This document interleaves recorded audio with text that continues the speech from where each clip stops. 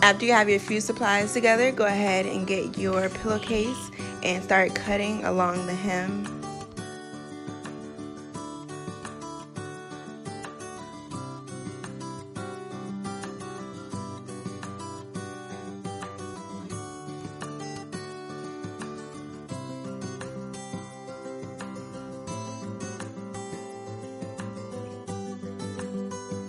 I was kind of fumbling with it a lot, so I would suggest maybe um, taping the pillowcase down. You see I'm on a rug, so I couldn't really tape it, but if you were to be doing this on a hard surface, I would suggest taping it down just so it could stay in place so that you could cut it faster.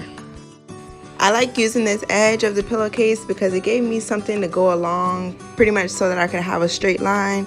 Um, I know this is an emergency situation, emergency um, DIY, so of course you won't really be worried about if it's, you know, straight or not, but yeah.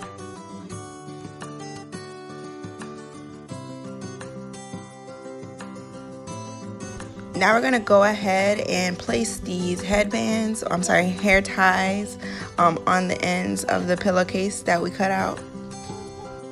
After you've placed your hair ties where you would like them, go ahead and fold that pillowcase part over on both sides so that they either line up or overlap. It's up to you.